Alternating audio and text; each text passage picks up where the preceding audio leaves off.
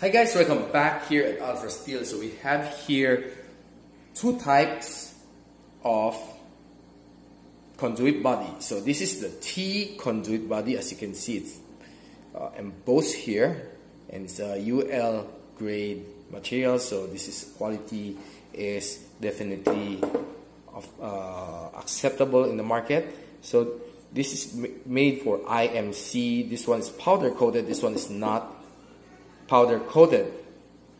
Okay, so what's the main difference here is that this one has a gasket to make sure that it's uh, liquid tight so that it would be uh, the water won't enter this uh, serviceable area okay so this is used for serviceable area. So you can put one pipe here one pipe here and another pipe down here.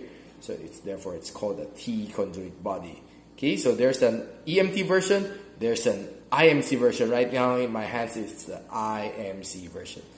Okay so this is the T conduit body. And I'm for Alfra Steel. And thanks for watching